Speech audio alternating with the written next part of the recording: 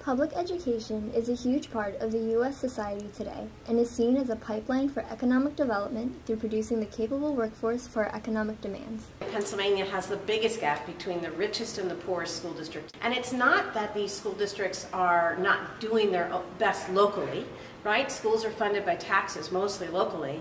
And even in the poorest communities, they have really high taxes but they just can't generate enough to educate their kids compared to the wealthy communities. According to a recent report from the nonprofit ReadyNation, Pennsylvania's wealthiest districts spend more than a third more per student than the state's poorest districts.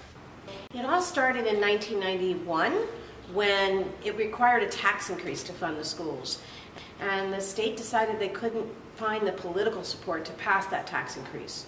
And so what happened is the state started to decrease its share of education spending year over year, and local communities had to pick up the difference. And the communities that could did, and the communities that didn't have much local wealth couldn't do it. These education funding gaps concern advocates, teachers, and parents due to their real implications for school quality and student success. Jenny, a former teacher with the Philadelphia School District, experienced these lack of resources firsthand.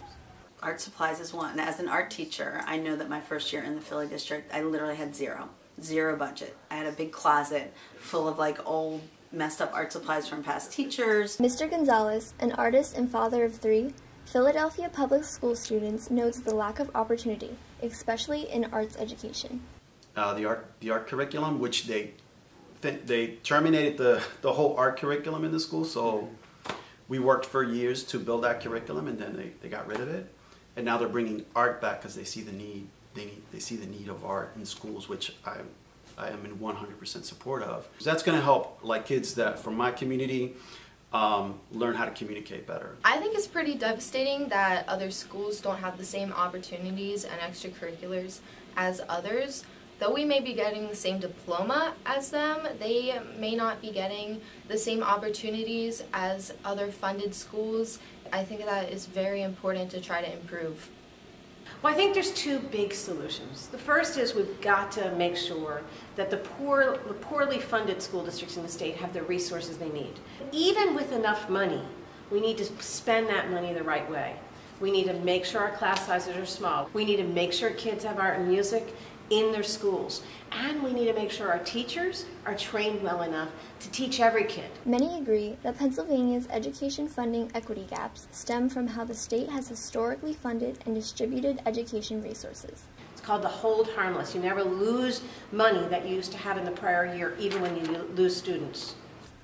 Pennsylvania policymakers understood the need for a better system of identifying and routing increased state funding to those communities that were struggling to fund their schools. In 2015, Pennsylvania enacted a fair funding formula. There was a catch, however.